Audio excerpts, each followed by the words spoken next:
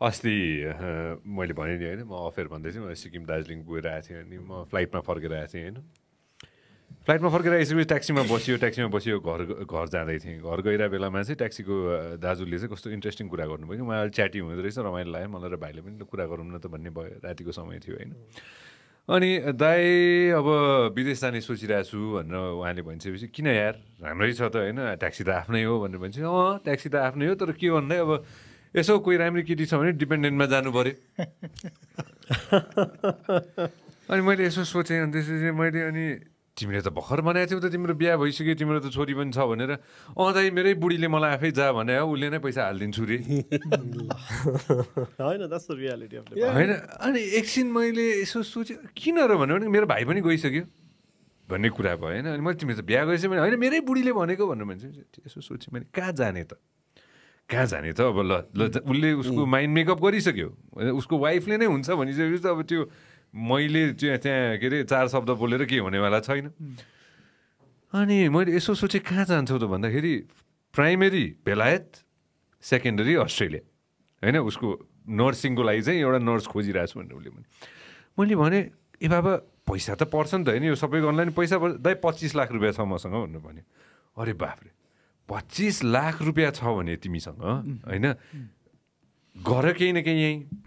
कोभिडमा दुईवटा गाडी थियो अरे उसको। एउटा गाडी उसले बेच्नु पऱ्यो अरे अब यो गाडी बेचेर उसले अर्को पच्चिस लाख कमाउँछ अरे पच्चिस लाख त आयो यही पच्चिस लाख दिएर ऊ डिपेन्डेन्टमा जाने भयो। रोजगारी छ उसँग। रोजगारी नभएको होइन। उसँग रोजगारी छ। उसले त्यो ट्याक्सी चलाइरहेछ उसको लागि पुगिरहेछ होला। होइन? उसले मलाई भन्यो कि बच्चाको फिजको फिज यति महँगो छ भनेर उसले भन्यो कि त्यसपछि मलाई स्ट्राइक भयो कि। काठमाडौँमा बस्दाखेरि महँगी यति धेरै छ कि उसँग ट्याक्सी छ। त्यसको पच्चिस लाख रुपियाँ वर्थ होला एक्जाम्पल उसले भनेअनुसार होइन? तर उसले त्यो गरेर पनि उसले काठमाडौँको महँगाइमा चाहिँ ऊ बस्न सकिरहेको छैन। भनेपछि त्यो महँगाइलाई के गर्ने त? होइन? I know you you want talk about inflation होइन? त्यो महँगाई एउटा ठुलो एस्पेक्ट हो नि त होइन? जुनको एक्ज्याक्टली सेम कुरा मैले सिक्किम ए सिक्किम भन्ने चाहिँ मैले सिलगढीमा पाएँ। मैले अघि नै अफेयर पनि भन्दै थिएँ सिलगढीमा हामी फर्केर सिलगढी आइसकेपछि हाम्रो ड्राइभरले सेम थिङ भाषा उयो होइन? उसकोमा पनि उति नै त्यो मोह र प्रेम छ नेपालको लागि होइन? उसले मजाले भन्यो उता त महँगो छ दाल महँगो छ चामल महँगो छ पेट्रोल महँगो छ सबै थोक महँगो छ। यता कम छ र यता सबै थोक अभाइलेबल पनि छ। बाटो हेर भनेर उसले मलाई एउटा राम्रो इक्जाम्पल दियो होइन। सो महँगी सबसे ठुलो रिजन होला त हाम्रो। के होला त? नट ओन्ली द्याट के होला त? महँगी पनि एउटा ठुलो रिजन होइन र। त्यो चाहिँ मलाई बाई प्रडक्ट जस्तो लाग्छ कि? जस्तो तपाईँले बाई प्रडक्ट जस्तो लाग्छ। तपाईँले छ भन्नुभयो कि? जस्तो छ भन्नुभयो। त्यो बनाइएको छ कि? एक दुईवटा डाटा भन्छु। जस्तै यो वर्ल्ड ब्याङ्कले मे मेतिर चाहिँ एउटा यो रेमिट्यान्ससँग जोडेको चाहिँ निकालेको रहेछ कि। नेपाल चाहिँ साउथ एसियाभरिमा चाहिँ जो माइग्रेन्ट वर्कर बाहिर जानुहुन्छ उनीहरूले पठाएको पैसाको जुन जिडिपीको जुन रेसियो हुन्छ नि त्यसको हिसाबमा चाहिँ नम्बर वान रहेछ कि साउथ एसियामा होइन?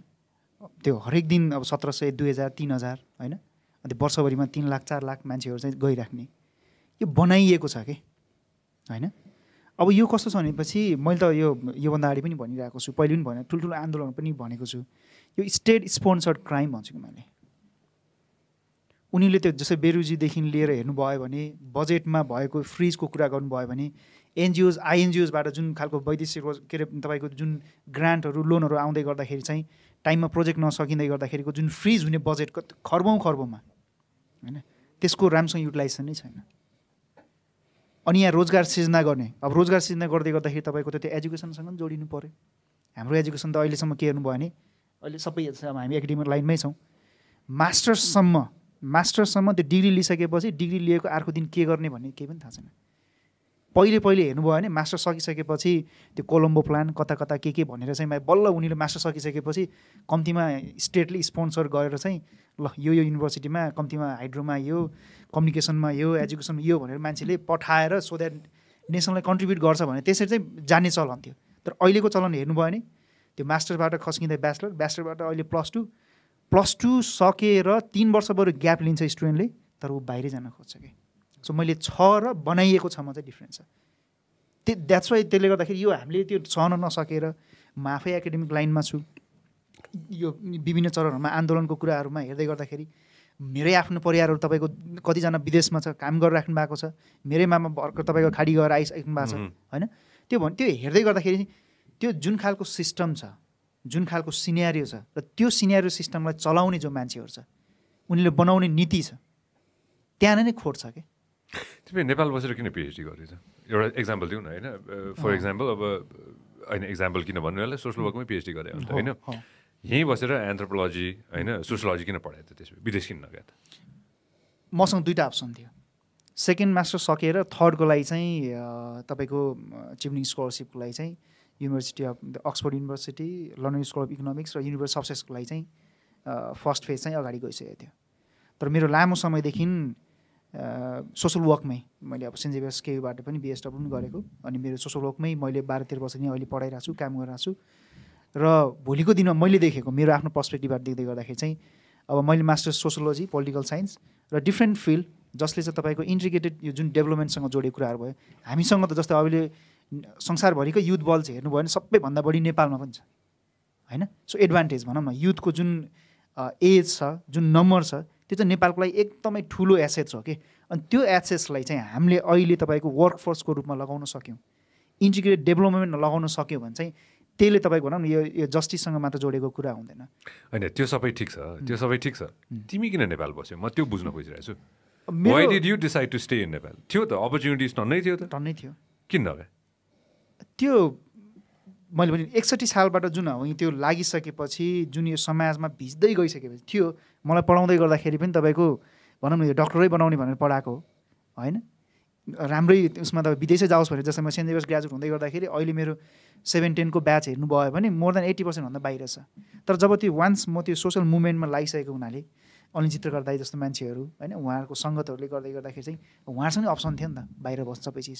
जहाँसम्म लाग्छ त्यो एक खालको इन्फ्लुएन्सले गर्दाखेरि पनि यो देशमा म जस्तो मान्छेहरू अरू म जस्तो युवाहरू त्यो उभिनु पनि एक खालको कन्ट्रिब्युसन हो कि? अब अहिले के छ त्यो त्यो पनि अब तपाईँको बिस्तारै घट्दै गइरहेछ क्या सो जहाँसम्म लाग्छ मैले के गर्छु मैले के योगदान गर्छु भन्दै गर्दाखेरि कम्तीमा म उभिँदै गर्दाखेरि तिन चारजनालाई त मैले इन्फ्लुएन्स गर्न सक्छु।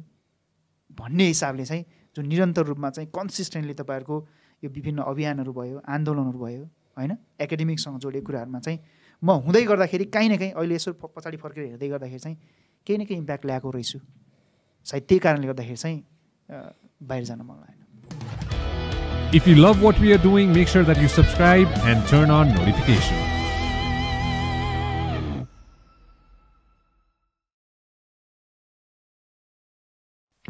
This program is brought to you by Vyas Studios.